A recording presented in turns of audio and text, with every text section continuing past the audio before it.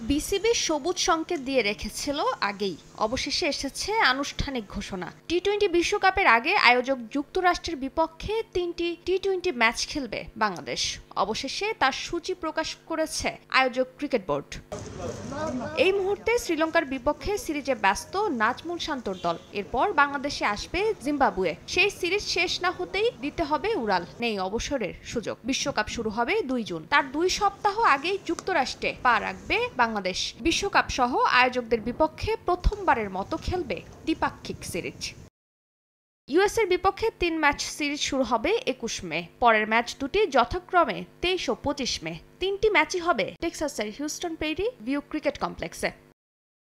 ক্রিকেটের আধুনিক কাঠামো নেই যুক্তরাষ্ট্রে। এখনও নির্মাণ কাজ সম্পন্ন হয়নি বিশ্বকাপের ভেনু নিউ ইয়র্কের Nassau county international cricket stadium. এরপরও দেশটিতে দ্বিপাক্ষিক সিরিজ খেলতে রাজি হওয়ায় বিসিবির প্রতি কৃতজ্ঞতা জানিয়েছে ইউএস ক্রিকেট চেয়ারম্যান। বিশ্বকাপের আগে এই ম্যাচগুলো আমাদের জন্য খুব গুরুত্বপূর্ণ।